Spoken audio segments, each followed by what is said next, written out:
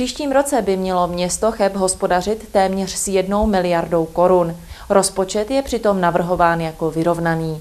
Otázka eh, vyrovnání rozpočtu je otázka financování. My počítáme v tomto rozpočtu i s úvěrem. 60 milionový úvěr, který má být investován do příprav přeshraniční krajinné výstavy, nepředstavuje klasické zadlužení města. Radnice chce totiž na tento projekt získat dotace ze státních i unijních fondů, které mají pokrýt až 75% z celkových nákladů, odhadovaných až na 250 milionů korun. Evropská unie ale poskytnutí dotace podmiňuje tím, že město musí nejprve celou akci finančně pokrýt z vlastních zdrojů a dotační prostředky pak dostane teprve dodatečně.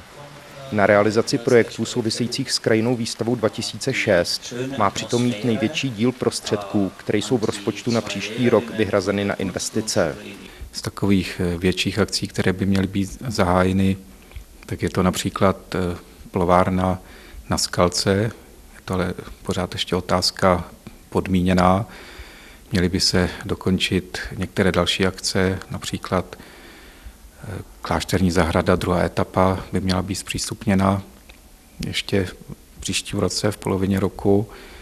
Měly by se vybudovat hřiště v Rademním příkopě, měly by se některé parky revitalizovat, mělo by dojít k obnově nebo k rekonstrukci hradebních zdí Chebského hradu a další akce. Společně s rozpočtem na příští rok se letos premiérově připravuje také rozpočtový výhled na roky následující. Tak takovou asi úplnou novinkou, která se dosud nerealizovala, je, že tento rozpočet se připravuje také s rozpočtovým výhledem na další dva roky, na rok 2005 a 2006, tak aby bylo vidět, které akce přechází z jednotlivých let a aby bylo zabezpečeno jejich financování příštím roce má Cheb hospodařit s rozpočtem ve výši 922 milionů korun, což je srovnatelné s podstatně většími městy, například krajskými Karlovými Vary. I přesto ale rozpočet nedosáhne letošní rekordní výše.